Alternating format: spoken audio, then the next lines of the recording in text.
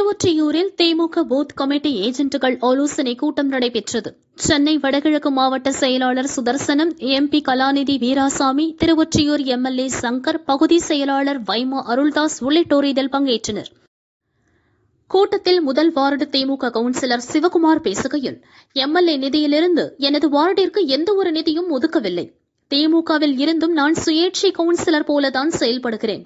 இரண்டாவது வார்டு சுயேட்சை கவுன்சிலரின் வார்டுக்கு மட்டும் நூலகம் பூங்கா கட்ட எம்எல்ஏ நிதி ஒதுக்குகிறார் என குற்றம் சுமத்தினார்.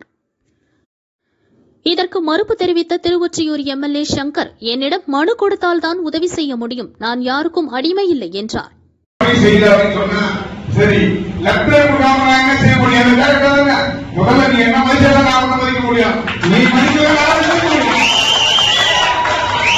பணி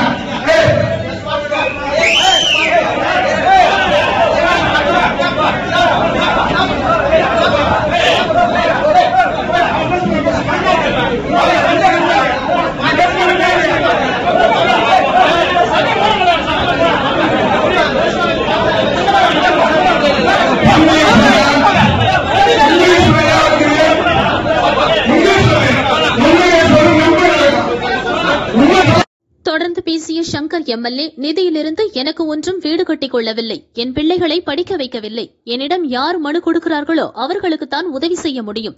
என்னிடம் எதுவும் கேட்கவில்லை என்றால் நான் எப்படி செய்வேன்? என்றார்.